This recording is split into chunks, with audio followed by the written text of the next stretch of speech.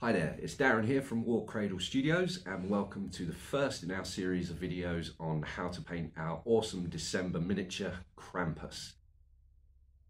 In the first video we're going to be focusing on Krampus's robes, so we're going to be going through how to base coat those, um, how to add depth and volume with shading and glazing, then we're going to be looking at highlighting those robes and then unifying them all together. Right, so let's start painting our awesome Krampus Christmas model. So the first thing we're going to want to do is get a good base coat down. Now I tend to work on the majority area of the model. Now with this guy, it's pretty easy to see what that's going to be. So we're looking at base coating the robes. Uh, the overall sort of effect that we want to get with Krampus and the effect that I got with the studio model is nice and grim and dark and, and evil looking. So to get a good red, we're actually going to start a little bit lower than maybe we would normally. So for this, I'm going to go for Sanguine Base. It's a nice deep red. And for the base coat, I'm going to be watering this down quite a lot. So one of the things I like doing is putting lots of layers on to get nice smooth transitions between colours, tones, shades and so on. So I'm going to be watering this paint down about, about two to one. So at the moment, that's about one to one. Now we're looking at about two to one. Now I'm using a wet palette. Um, the reason I'm using a wet palette is because this is such a big model. Um, I don't want my paint drying between stages. So using a wet palette keeps your paint moist and means you can keep working away with the tones rather than having to keep remixing and trying to get that exact same color again. So that looks about right. So applying this, I'm not going to worry too much about the detail. Um, if we go over that with the red, that's not an issue because we're always going to come back later on with other colours and tidy that up. So when we're base coating, this is going to be very thin. So we're going to see the black come through. So to make sure we've got a good solid base coat down, I'll be repeating this process two, maybe three times. Now I tend to keep my brush strokes all going in the same direction. Uh, that way, all your strokes nice and tidy. You don't get patchy results. I'm using quite a big brush for this as well. Um, I think this is a, a one. So I can get this done as quick as possible. So as he is a big model, we don't want to be sitting there with a small brush. It will take all day. Throughout these videos, I'll be using P3 paints and Winsor & Newton brushes and make sure you follow this right to the end where you can find out about our awesome tie-in competition. Okay, so for the next stage, what I've done is I've taken some Scorn Red and I've watered that down, usual about two to one. Stuck that on my, on my wet palette and I've mixed that in with a little bit of the Sanguine base from our base coat. What that'll do is it'll allow us to blend some of those transitions in through the recesses and highlights and so on. So load in the brush up. Don't want too much on there. And just start applying this onto the most raised areas. Now, because it's thin, none of this is going to build up. And one of the other things that we can do so when you get to an area, for example, this bit here, that's got really deep recess, what we can do is a technique that I call feathering. So some people call it wet blending, two brush blending or whatever. I tend to do it with one brush. But all you need to do is just dampen your brush, take the paint off, dampen the brush, and then just fade out the edge of the colour into the recess with kind of like a, a backwards and forwards motion, almost like you're shading with a pencil.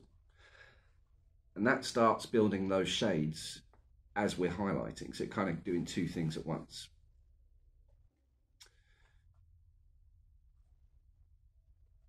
Now I'm not expecting this to give us a solid coat straight away. Um, this one will probably take two passes again, maybe three. But once again, that does come down to how bright or, or how how much contrast you want on your model.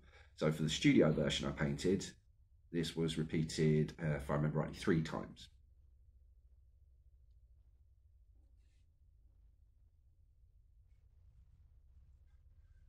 So I'm just going to brush away from the dark areas.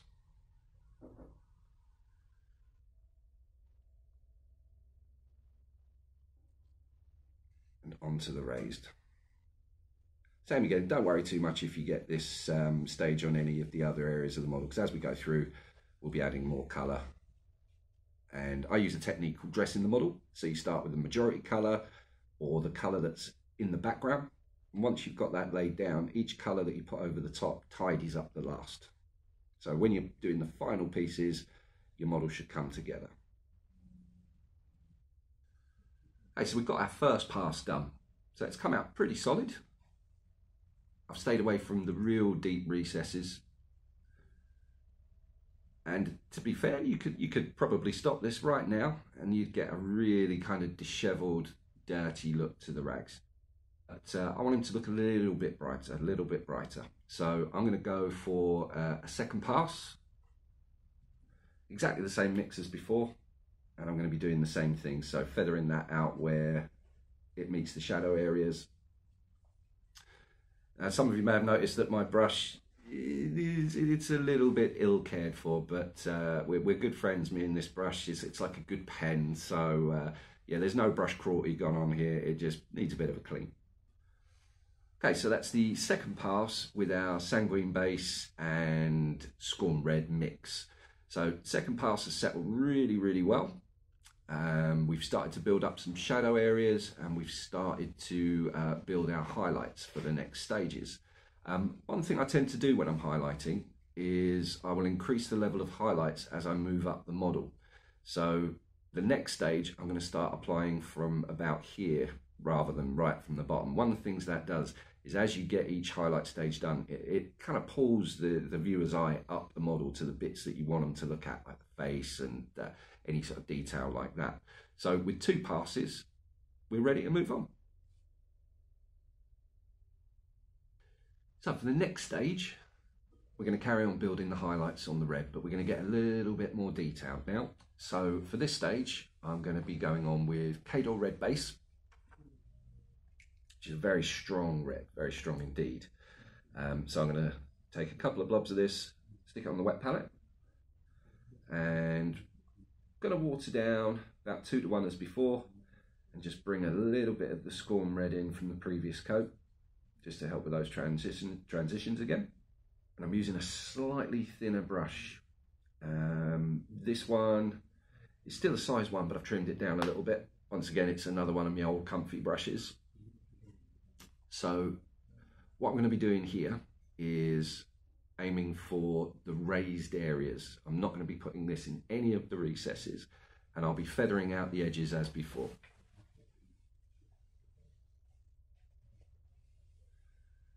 See that is a very, very strong red we've got there. And then as that's been placed, just going to take the paint off my brush, make it a little bit damp, I'm just going to feather those edges down. So I'll push up into the paint and then pull back down, side to side motion, like sketching with pencils again, and that just spreads that pigment out.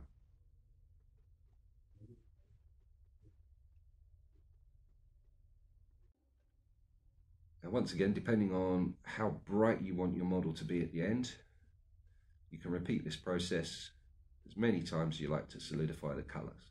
So I'm going to be making one solid pass over the whole model, build all the highlights in one go, and then I will go back over some areas that I feel need a little bit more saturation or a little bit more intensity. And because the paint's so thin, the blends are going to be really easy. Same again, I'm just going to Put some of that paint there. Get rid of the excess on the brush. And just feather that down. And with fabric, fabric has a lot of textures. So it's okay to vary your feathering method. Sometimes you can do the side to side kind of sketchy motion to blend that in. Uh, sometimes you can go for like a circular motion and uh, that will start to build that, um, that kind of fabric texture. Same as before.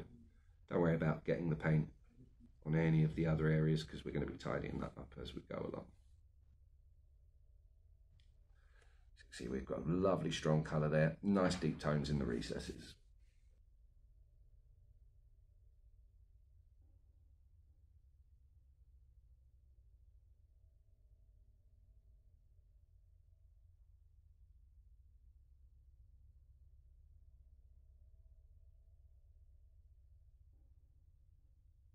Okay, so now we've got most of the red work done. Uh, there's a few little bits of highlighting and stuff that we're going to do later on. But most important thing now is now we've built that red up, we want to start adding some depth to the recesses, to the fold, to the cloak and so on and start bringing this very bright red down a touch. So this is going to be the start of the shading process. And to do this, the first thing I'm going to do is grab some coal black. I'm going to make a glaze out of this. So a glaze is a very, very, very thin, very watered down paint. We can do it with inks, but basically it's incredibly thin. So what this is going to do is it's going to lay in the recesses and over a few passes, it's just going to build up the shadows and the intensity of the shadows. One of the key things with a glaze is not to let it pool up though. This is not a wash. So watered down about 10 to 1. Grab a small amount of glaze on the brush and I'm going to start from the bottom of the, uh, bottom of the model and work up. So what I'm going to do here is aim for some of these overhanging uh, parts of the rope. So we've got a nice area there. Just going to paint a very thin layer. Not going to let it pull up. And then take off the excess. And just feather out those edges as we've been doing all the way through. And with one watered down pass, one very quick pass, we've added a lot of depth to that fold there.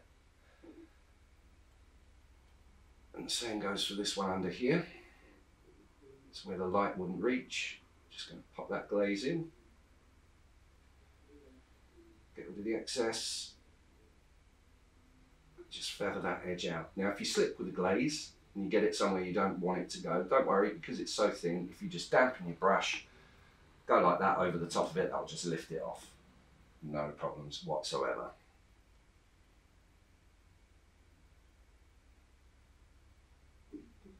Another thing you can do with this glaze is aim it around any detail that sits over the top of the robes, like these severed limbs and so on. And that will start to build up natural shadows underneath them.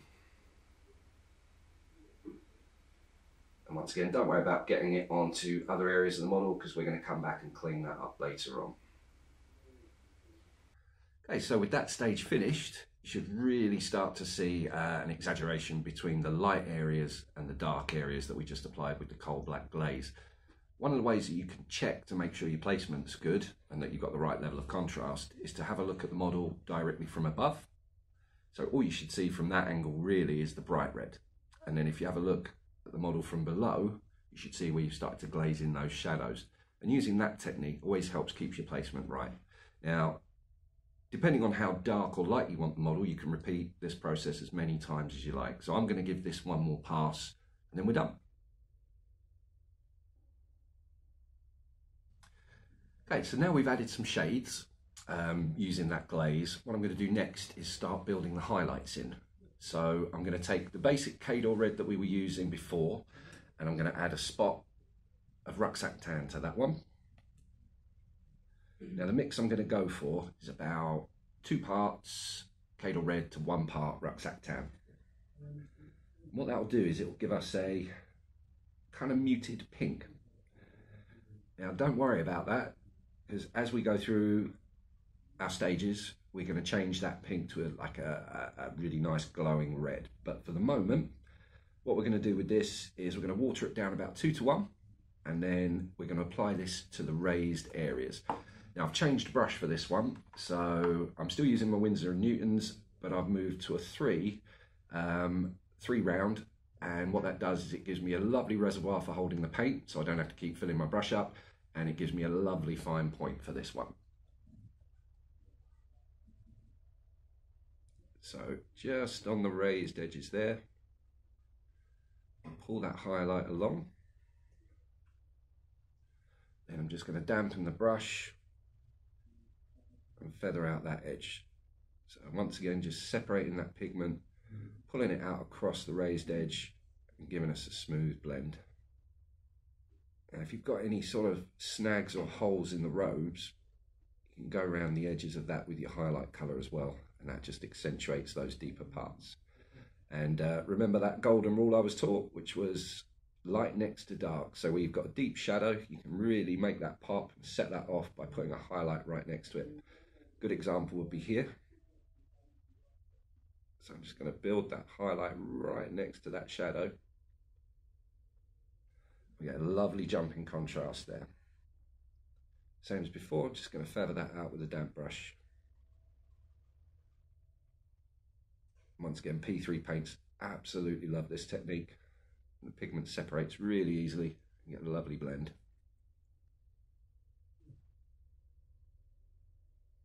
So I'm using that sketching motion again there to just fuzz out that edge. As before, if you get your highlight colour on any other areas, it doesn't matter because we're going to tidy that up later in the process. And that's starting to really pop now. So I've got some on the shadow area there, that's not a problem. Just damp the brush and spread that out. Really easy to correct mistakes. Now on these really thin areas, a good, good trick you can use is to rather than using the tip of your brush to highlight, so when you've got a sharp raised edge like that, just use the side of your brush. And using the side of the brush gives you a lovely sort of minimum point of contact. And it gives you a really sharp highlight, which is one of the techniques I'll be using a lot later on when we hit up the metallics. Same again there, side of the brush all the way down. And then we just feather that highlight out there. Same again, edge of the brush, and then feather that out.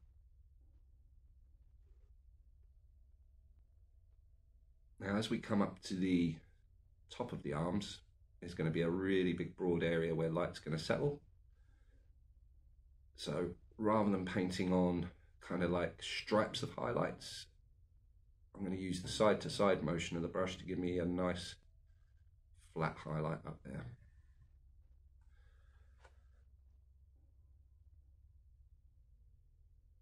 So just feathering out that edge again. Looking great.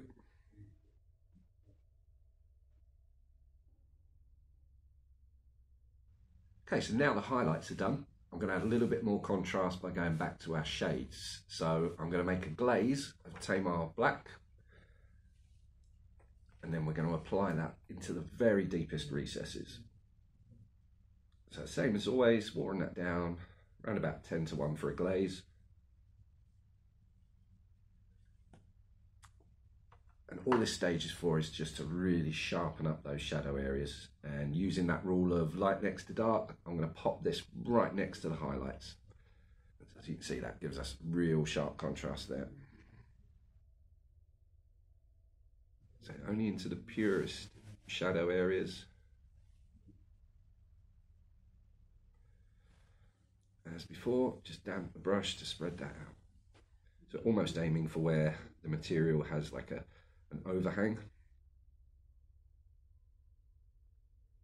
During this stage, you can actually begin the lining process. So if you need any areas that need separating from the rest of the model, like these chains and these bits of limbs and stuff, you can start outlining them with the black as well. But try not to let it pull up.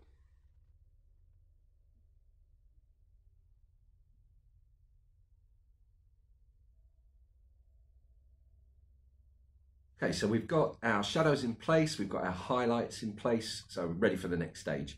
Um, I'm quite an expressive painter, so I tend to sketch my colours on, I tend to push my highlights right up and I bring my shadows right down. Um, what that can do is it can make the miniature look a bit stark. So when you're about three or four foot away, it will look amazing. But when you get closer to it, actually you can start to see the different areas of shadow and light. So one of the ways of bringing that all together um, the next two stages is I'm going to be using glazes just to tie our highlights and shadows and midtones and base coats all together into one glorious whole. So what I'm going to do is go back to Sanguine Base, what we used for our initial base coat, make a glaze out of that. It's about 10 to 1. And this is really just to tone the colours. So once again, we don't want this pooling up in any recesses. We just want a very thin layer over the top of the whole model. Let's have a quick test. Yeah, that's good. Now I've gone back to my old faithful fuzzy brush. Uh, bigger brushes are better for this, as you tend to get less streaks. So we're just looking to give a coat of sanguine base over the whole model.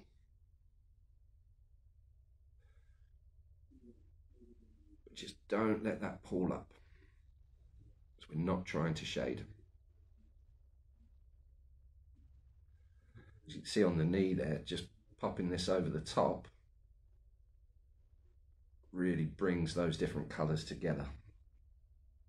And the same down here, if I just put that there, that knocks that red back just a touch and fades it into the shadowed areas beautifully. That's a very, very, very quick process. So it shouldn't take more than a couple of minutes. Same again if we have a look at that bit there.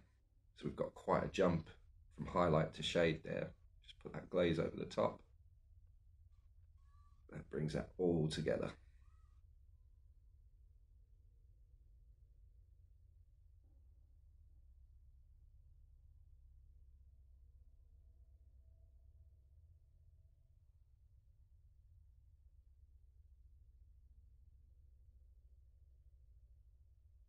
So now we've put that glaze on, the colours are starting to come together. So for this next stage, I'm going to go for another glaze. This time, what I want to do is just try and bring that red down a touch to more of that um, kind of dried blood colour. So for that, we're going to go on with a glaze of Murderous Magenta. That's quite a shocking colour. That's a kind of bright purple, but as we make a glaze out of that, the red will shine through it and it'll add uh, kind of like a deeper tone to the red. And once more, it's another step towards unifying our highlights and our shades. So watering down 10 to 1. Test that out. That's great. Now this goes on, same again over the whole model, and same again, don't let it pull up.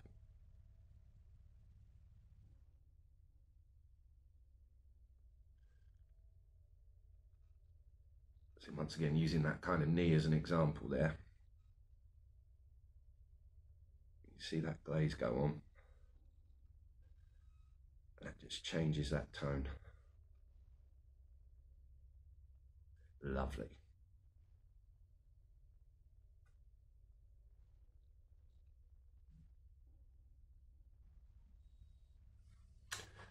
Okay, so now we've brought those uh, shadows and highlights together some of them, some of our highlights might have dulled down just a little touch. So I'm just going to go in with a, a final highlight, and that's going to be of the Khador Red and Rucksack Tan mix that we used earlier. This time I'm just going to be using that to pick out the real pure edges. So we're looking for sharp edges. So a good example would be once again this knee, where I'm just going to bring that highlight in right on the very edge, just to make that stand out. It's a quick stage, but placement's everything. So take your time, have a look at the model from above and from below to make sure you're catching your highlights right.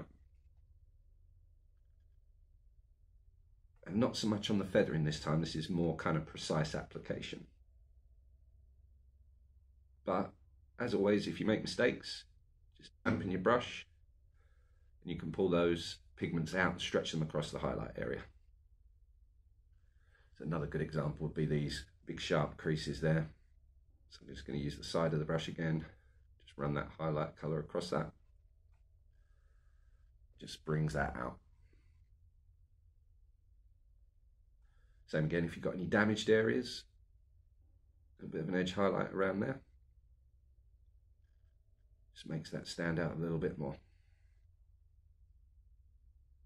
Now, depending what you're doing this for, whether it's for gaming or display, you can repeat this process backwards and forwards as many times as you like, and that's the glazing, the highlighting, the shading, until you're satisfied with the results.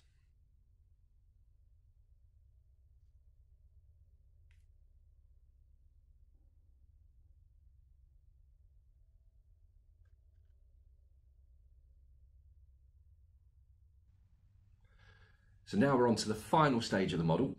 Now we've done our highlights, we're just going to bring the whole thing back together with a glaze of Khador red base. So each stage is really just adding depth and volume to the previous one and keeping everything smooth. And by doing this, you add a real depth and a richness to your colours. Usual rules apply, water it down about 10 to 1, don't let it pull up on the model. So once again, if I show you on the knee, you get a real glow.